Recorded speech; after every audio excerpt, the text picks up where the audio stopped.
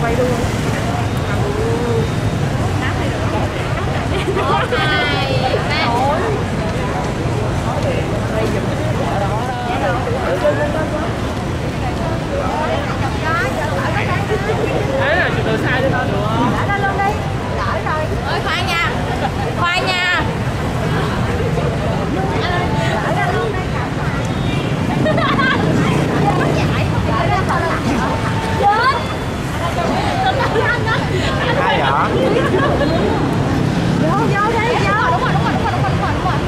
Kệ anh ấy cả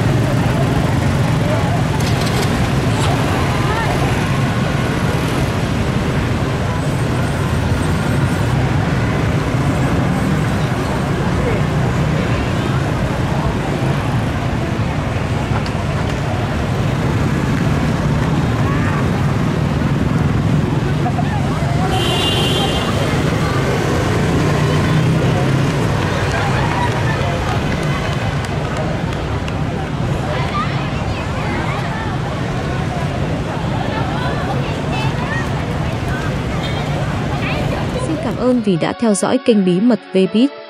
Chúc các bạn những ngày tốt lành.